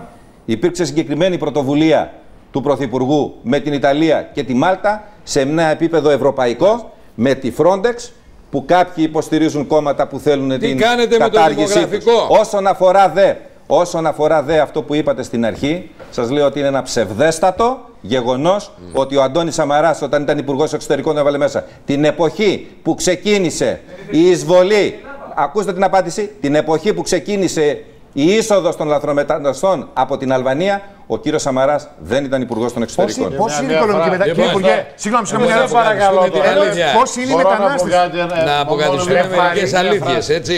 Πάρει. Να αποκαθιστούν Έχει κάποιε αστεία για τον αλήθειες. Υπουργό. Δηλαδή, στην Επί προηγούμενη του δεν κυρίου μπορώ να Σαμαρά πάρω μισό άνοιξε λεπτό. η πόρτα Μια της φράση θέλω να πω στον νερό, μόνο μια Διότι οι Αμερικανοί είπαν ότι πρέπει να αποσυμπιεστεί Δεν το ήταν καθεστώς υπουργός της εξωτερικών ο Σαμαράς, Αλβανίας. Γιώργος. Άκουσα, εγώ τον είδα από κοντά, δεν τον ήξερες τότε. Και πού ήμασταν, Γιώργος, σε άλλη Ναι, χώρα αλλά δεν ήμασταν. τον ήξερες. Λοιπόν, Κύριε ε, Χατζηγοργάου. άρχισε και συνεχίστηκε επί Σιμίτη, διότι οι Αμερικανοί είπαν ότι πρέπει να αποσυμπιεστεί το εσωτερικό της φτωχοποιημένη Αλβανίας για να μην γυρίσει αριστερά, να είναι πάντα δεξιά Έχω προς τη μήνυμα δύση. καμένου, κύριε Αυτό λοιπόν Χατζηγοργάου. άνοιξαν τα σύνορα και ήρθαν Ναι, εδώ. βεβαίως. Το πρόβλημα, θα Έχω. ήθελα να πω και τελειώνω, Έχω. είναι το δημογραφικό. Είναι πρόβλημα που οδηγεί σε διαμελισμό της χώρας. Το 25% του πληθυσμού νεκρό, δηλαδή εννοώ μεγάλων ηλικιών, και οι νέοι στο εξωτερικό λόγω ανεργίας οδηγούν τη χώρα σε σταδιακή συρρήκνωση και διαμελισμό. Ορίστε, κύριε Έχω ένα Κουή. μήνυμα καμένο το οποίο αφορά τον κύριο Κουκουλόπουλο. Παρακαλώ. Γιατί στην εκπομπή του Παπαδάκη το 11 είχε πει Βέβαια. ότι, Χωρίς ότι, αναδιάρθρωση δεν μπορούμε να προχωρήσουμε. Αυτό είχα. ότι πάμε για χρεοκοπία σε 3-4 χρόνια. Εάν δεν γίνει αναδιάρθρωση. Το είχατε πει Είπα, έτσι; εφόσον δεν. δεν Έτσι το είπα, είχατε πει; Ε, εφόσον δεν αναδιαρθρωθεί Το το, YouTube εδώ χρέος, το έχω. Μιλεί.